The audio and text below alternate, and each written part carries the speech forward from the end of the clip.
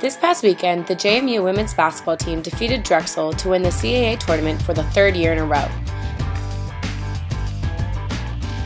As the number 11 seed in the Dallas region, the Dukes will go on to play DePaul, the number 6 seed, in the first round of the NCAA tournament.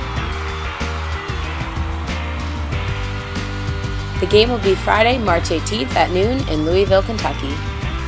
This is probably the most cohesive group that I've ever had all right, because they play for each other, but they also play for you, the fans, who come out and supported them so much. So we need you guys.